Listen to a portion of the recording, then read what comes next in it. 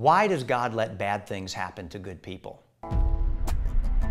If God is good and He is a God of love and, and He is powerful enough to stop evil and pain and suffering, why doesn't He? That is the question that wrecks people's faith.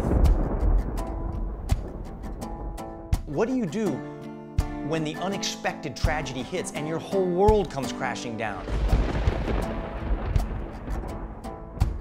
I went on a journey to examine my faith, to be honest and face my questions and my doubts.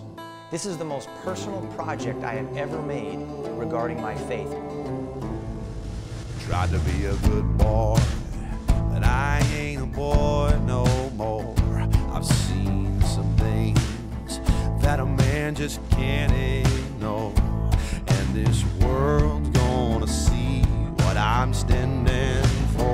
I want you to come on this journey with me to discover the answer to this age old question if God is good, why is there so much suffering? Why all the pain?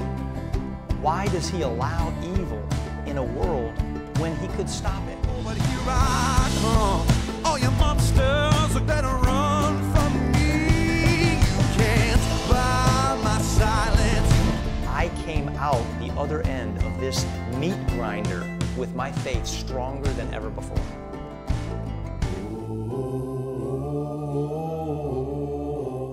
Join me on September 24th for a one night only live event broadcast from Liberty University in theaters all across this nation because I want to settle once and for all that life is stronger than death, good is stronger than evil, and faith is stronger than time.